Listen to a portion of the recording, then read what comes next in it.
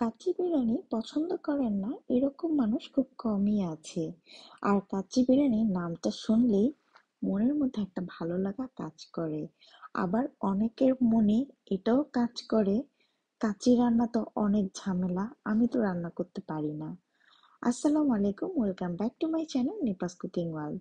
সবাই কেমন আছেন? আশা করি সবাই অনেক ভালো আছেন। আপনাদের তো আমরা অনেক ভালো আছি। আজকে আমি আপনাদের জন্য এই মজাদার কাচ্চি বিরিয়ানিটা কি করে ইজি ওয়েতে শুধু প্যাকেট মশলা দিয়ে আর ঘরে থাকা কিছু উপকরণ দিয়ে আপনি খুবই মজা করে বানিয়ে নিতে পারেন। তো চলুন দেখা যাক এই কাচ্চি বিরিয়ানিটা আমি কীভাবে রান্না করেছি।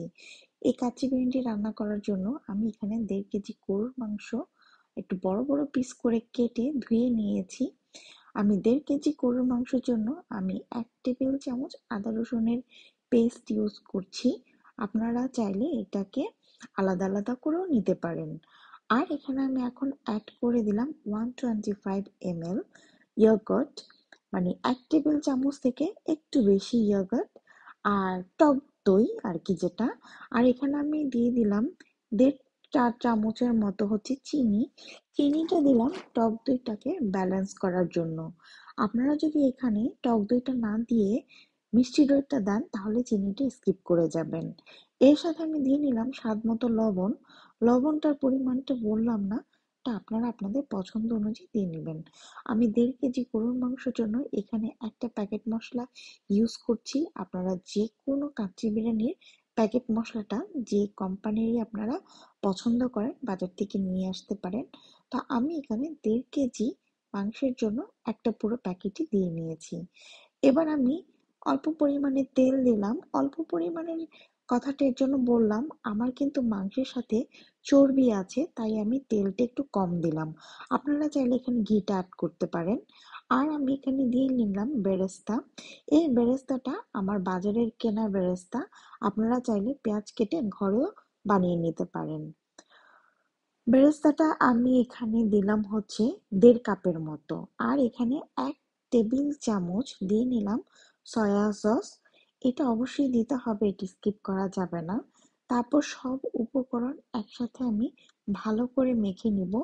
আমি খুবই ভালো করে হাতে মেখে নিচ্ছি, দেখতে পাচ্ছেন? আমি খুব ভালো করে এটাকে মেখে তারপর এটাকে রেখে দিব এক থেকে দেড় ঘণ্টার জন্য।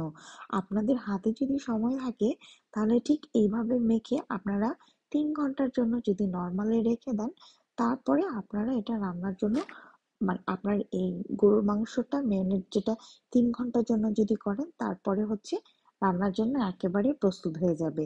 আর হাতে না সময় থাকলে দেড় ঘণ্টা এনাফ তো আমি ঢাকনাতে একটা টুথপিক দিয়ে সুন্দর করে এটাকে আটকে দিলাম।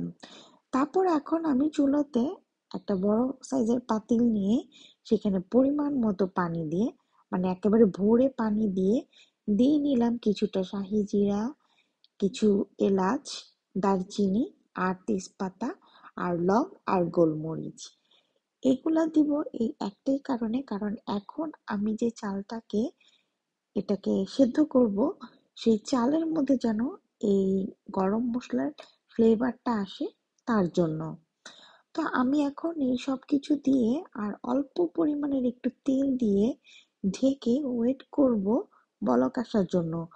বলক, আস্তে আস্তে আমরা এখানে চালটাকে ধুয়ে, আমি কিন্তু এই চালটাকে আরও আধা ঘণ্টা আগে ধুয়ে এরকম একটা স্ট্রেনারের মধ্যে ঝরিয়ে রেখেছি। আপনাদের হাতে যদি টাইম থাকে, তাহলে আপনারা এই কাজটা করে নিতে পারেন। আমার দেখতে পাচ্ছেন যে আমার পানিটা বলক চলে আসছে এবং কালারটা কিন্তু চেঞ্জ হয়ে গেছে।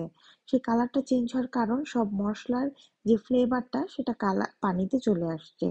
এখন আমি এখানে যে চালগুলো ধুয়ে রেখেছিলাম, সেই চালগুলো দিয়ে একটু নেড়ে চেড়ে ঢেকে দিয়ে ওয়েট করব দশ মিনিটের জন্য।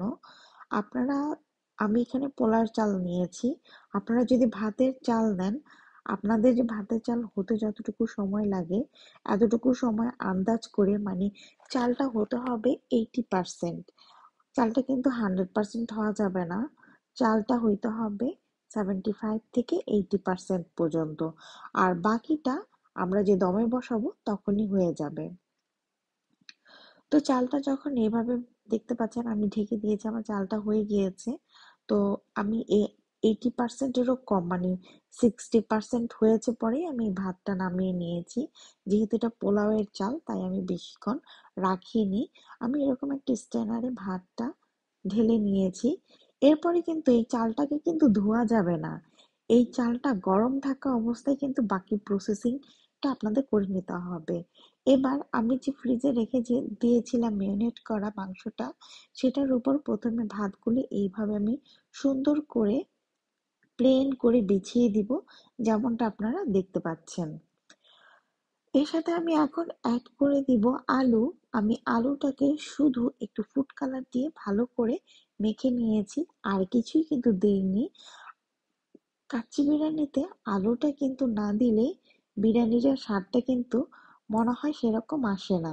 আপনারা চাইলে একটু স্কিপও করতে পারেন, তবে দিলে খেতে ভালো লাগে।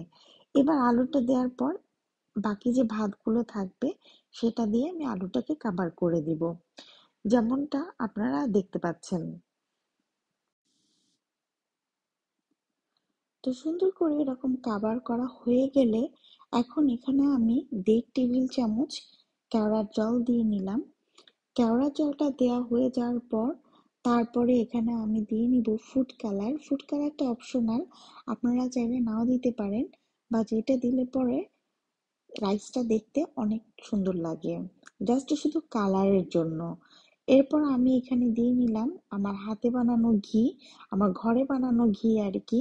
যেহেতু আমি দেশের বাহিরে থাকি, আমি বাংলা মানে দেশি ঘিটা তো আর পাই না, তো আমি ঘরে ঘি বানাই। এই ঘিটা কিন্তু দেশি ঘিয়ের থেকে কোনো অংশে কম না। চাইলে আমি ডিসক্রিপশন বক্সে লিঙ্কটা দিয়ে রাখব, আপনারা দেখে নিতে পারেন। তারপর এখানে আমি অ্যাড করে দিলাম ব্রেস্তা। ব্রেস্তাটা আমি সুন্দর করে দিয়ে এরপর এর সাথে আমি অ্যাড করব কিচমিচ এর সাথে আপনারা চাইলে আলু বোখরাটা অ্যাড করতে পারেন।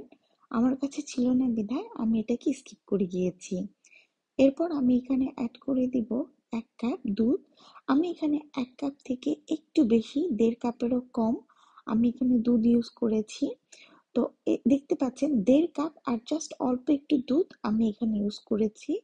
তারপর এখানে আমি এটাকে ভালো করে এরকম ডাবল করে ফয়েল পেপার দিয়ে এখন এই পাতিলের মুখটাকে সিল করে দিব।